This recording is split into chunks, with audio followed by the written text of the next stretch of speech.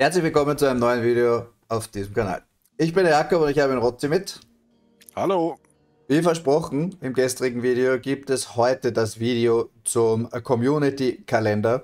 Für alle, die das gestrige Video nicht gesehen haben, ich würde euch sehr empfehlen, da noch reinzuschauen. Ich werde euch das in der Infobox verlinken und im Abspann in der Infocard. Das heißt, ihr könnt da, wenn ihr das geguckt habt, sofort da draufklicken. Gestern haben wir uns über das Update, das hier auch gleich äh, behandelt wird, am 28. Februar, also nächste Woche, unterhalten.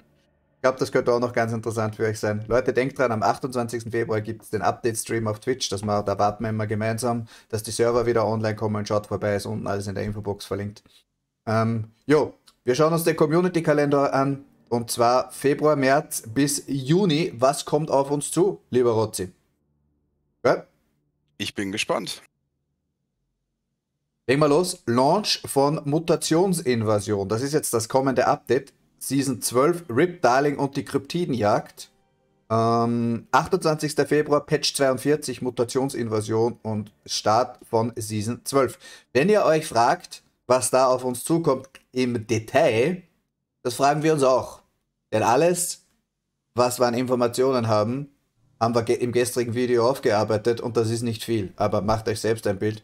Trotzdem, ja, Season 12, das ist das, was wir wissen und, und halt so ein paar andere Kleinigkeiten, die wir, die wir, die wir eh im gestrigen Video behandelt haben. Aber ja, ja schauen wir. Schau. Ich lasse das jetzt mal außen vor. Das haben wir ja schon drüber geredet. 9. bis 13. März gibt es Doppelmutation, Doppelmutationen und reichlich Kronkorken. 16. bis 20. März gibt es Doppelscore.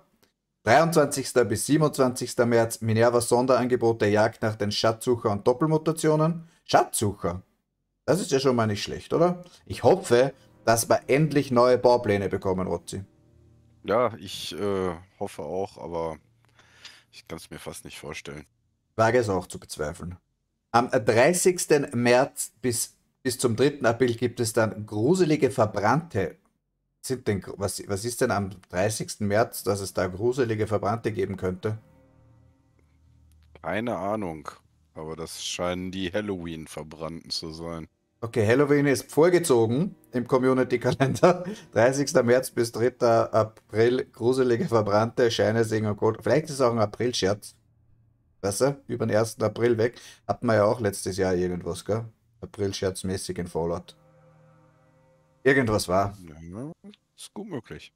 Ich kann mich aber nicht mehr genau erinnern. Wenn ihr das noch wisst, schreibt mir das gerne in die Kommentare. Irgendwas hat man am 1. April, weil da ir irgendwie war, irgendwas war. Im April, Jänner, Februar, März. Also dann haben wir den März und am Ap im April haben wir dann Patch 43. Okay. Aber da steht jetzt nicht an welchem Tag, oder?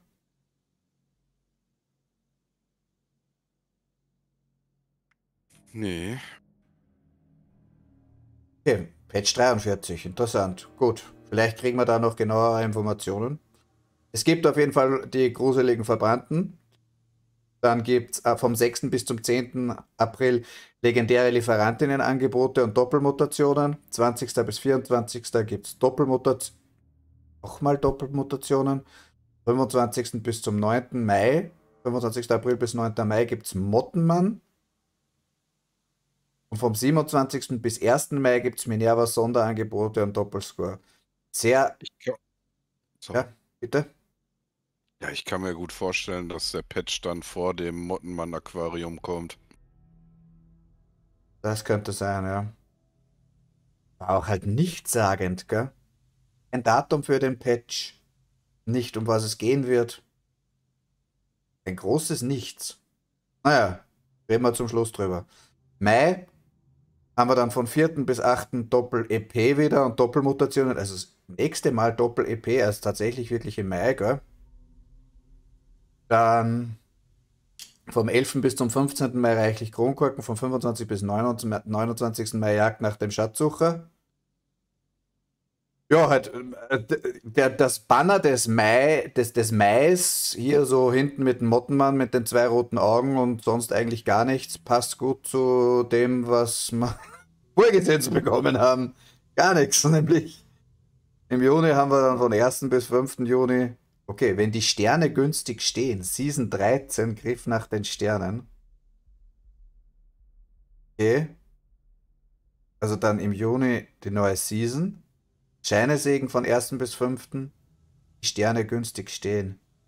Eine Erweiterung des Alien-Events vielleicht, ha? Oder einfach nur das. Bei Angreifer aus dem All geht erst, gibt es erst wieder vom 20. bis 4. Juli, Rotzi. Ich kann mir vorstellen, dass dann die neue Season beginnt. Eben wieder mit dem Alien-Thema. Das stimmt. Ja, das wäre krass, wenn wir wieder nur Aliens bekommen und nicht irgendwie was Neues. Content vor allem mal. Content wäre wichtig. Quests. Irgendwas, ein Endgame wäre toll. Ja, also ich muss jetzt mal ganz ehrlich sein zu euch. Das ist ernüchternd. Ernüchternd wenig.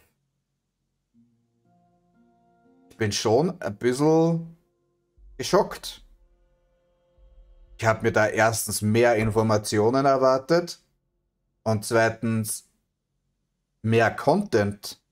Das fühlt sich für mich jetzt gerade so an, als wie letztes Jahr haben wir noch mal ein bisschen rausgehauen und jetzt gucken wir mal 2023, wie lange das ohne große Updates läuft.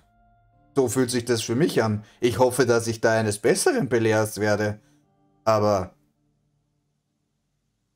das ist nicht viel. Warte. Ja, es ist mehr of the same. Und ich will ja nicht orakeln und äh, eine Runde Spekulatius verteilen, aber im Mai, wie du ja selber auch schon gesagt hast, ist gar nichts. Und wenn man schon gar nichts hat, und die Leute trotzdem locken möchte mit irgendetwas, dann haut man ein Doppel-EP-Wochenende rein. Weil es könnte ja sein, dass dann nicht so viele Leute Fallout zocken, sondern ein anderes Spiel aus dem Bethesda-Universum.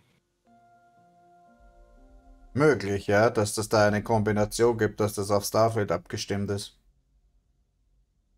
Ja, äh, Leute, ich muss ehrlich zu euch sein wenn das alles ist, was wir kriegen, dann wird das den Spielerzahlen nicht gut tun und dann müssen wir schauen, wo wir bleiben. So hart wie das klingt. Oder? Rotzi? Ja, es ist nichts Neues für das erste halbe Jahr jetzt. Also bisher, wir haben schon Ende Februar. Und wenn man bis Ende Juni schaut, dann kommt da eben auch nichts Neues außer dem Spielbrett, woran die externen Studios ja arbeiten. Aber sei es jetzt neue Events oder vielleicht sogar Story-Content, sucht man leider vergeblich. Ja, muss ehrlich zu euch sagen, Leute, wenn die uns kein Content geben, dann kann ich oder können wir als Content Creator auch ja kein Content createn draus. Wisst ihr, was ich meine? Also das Grundgerüst ist das Game. Und wir spielen jetzt vier Jahre und es gab Höhen und Tiefen, aber das ist jetzt content-technisch nicht ein Game, wo man ewig äh, draus schöpfen kann das ist halt. Wir als Creator müssen uns dann irgendwie auch was einfallen lassen. Beziehungsweise irgendwann ist dann halt Mühe zu, wie man in Österreich sagt. Die, die aus Österreich sind und meine Videos schauen. Also irgendwann ist dann mal ist halt nichts mehr zu tun. Hoffe halt, dass dass halt Starfield dann bald kommt und das war Starfield, also Starfield wird auch auf diesem Kanal behandelt werden. Es wird auch Starfield-Videos auf meinem Kanal geben. Ah, das ist nicht Rotzi. Ja. Ich, äh, hm. Ja. Enttäuscht. Ich auch enttäuscht. Leute, schreibt uns gerne in die Ko oder schreibt uns bitte in die Kommentare, was ihr drüber denkt. Lasst uns diskutieren. Wichtig.